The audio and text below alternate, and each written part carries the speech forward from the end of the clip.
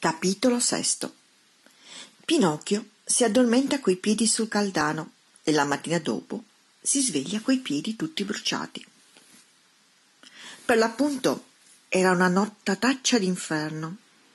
Tornava forte, forte, lampeggiava come se il cielo pigliasse fuoco e un ventaccio freddo e strapazzone, fischiando rabbiosamente e sollevando un immenso nuvolo di polvere, faceva stridere e cigolare tutti gli alberi della campagna. Pinocchio aveva una gran paura dei tuoni e dei lampi, se no che la fame era più forte della paura, motivo per cui accostò l'uscio di casa e presa la carriera in un centinaio di salti arrivò fino al paese, con la lingua fuori e col fiato grosso, come un cane da caccia ma trovò tutto buio e tutto deserto. Le botteghe erano chiuse, le porte di casa chiuse, le finestre chiuse e nella strada nemmeno un cane. Pareva il paese dei morti. Allora Pinocchio, preso dalla disperazione e dalla fame, si attaccò al campanello di una casa e cominciò a sonare a distesa, dicendo dentro di sé Qualcuno si affaccerà Difatti si affacciò un vecchino, col berretto da notte in capo, il quale gridò tutto stizzito. Che cosa volete a quest'ora? Che mi fareste il piacere di darmi un po' di pane?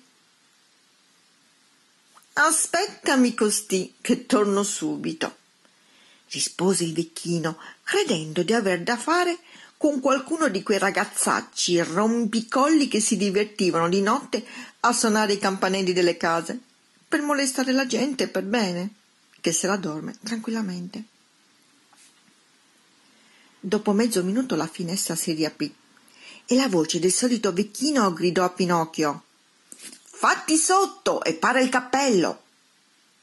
Pinocchio si levò subito il suo cappelluccio, ma mentre faceva l'atto di pararlo, sentì pioversi addosso un'enorme catenella d'acqua che lo annaffiò tutto dalla testa ai piedi come se fosse un vaso di giriano appassito.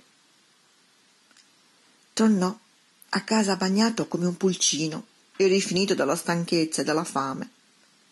E perché non aveva più forza da reggersi ritto, si pose a sedere, appoggiando i piedi fradici e impillaccherati sopra un caldano pieno di brace accesa. E lì si addormentò.